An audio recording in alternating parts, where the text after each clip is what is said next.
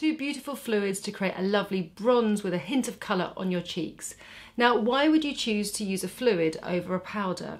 Well, if you want to use a fluid, it's great if you've got dry skin, for starters. Sometimes people avoid using bronzer because they feel that it enhances the dryness to their skin, so they kind of just don't bother. Using a liquid avoids that completely.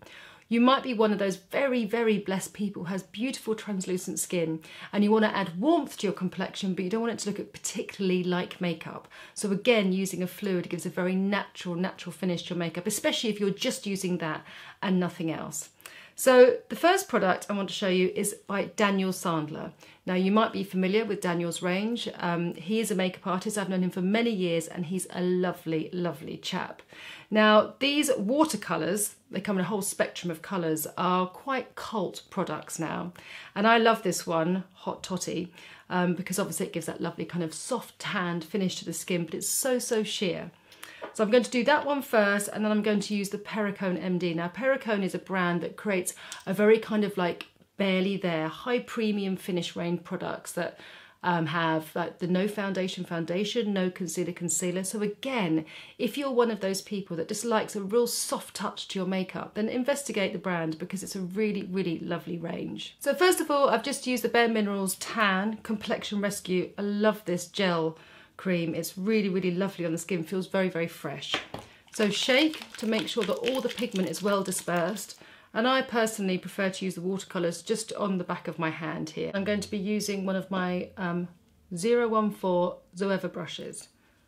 Really, really push the product into the brush first. You get a nice even application. Start under your cheekbones. And then blend the colour around your jawline, the hairline, move your hair back if you've got blonde hair and you can see how it just gives you this instant gorgeous suntan.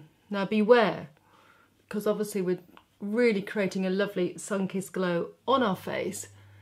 Don't forget to bring it down your neck otherwise it will just look really grubby and orangey on your skin. So just blend the product well into your skin, Using a brush like this actually, again, is quite nice. It's almost like a facial massage. And you can use the edge of the brush just to really go in and just carve a little bit of tan just into your sockets, which opens out the eyes as well.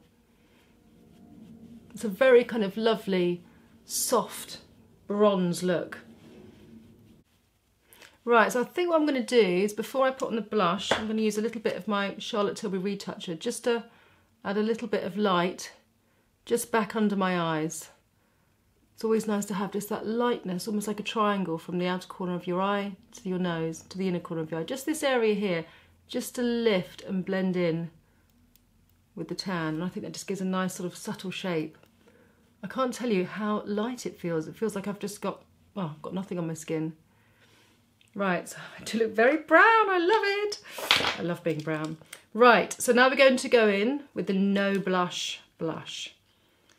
So it's got a little applicator again, just dab it off there and it's this beautiful, lovely, soft baby pink. So I just do my little Aunt Sally cheeks and just very gently, just really push that colour into my skin. Now you can see that I've got a few freckles and I've got an area of pigmentation here just on my cheek. So I don't mind that. I like the translucency of these colours so it just looks really natural, like it is a natural flush to the skin. I love that. Okay, just going to put a little bit of this on my lips actually. I was going to use a, a nice caramel gloss, but I think I'm going to use this on my lips. I love matching those two together. Great. So considering to how pale I looked at the beginning of this video, I've got a lovely, natural, sun-kissed glow to my skin. Give it a try.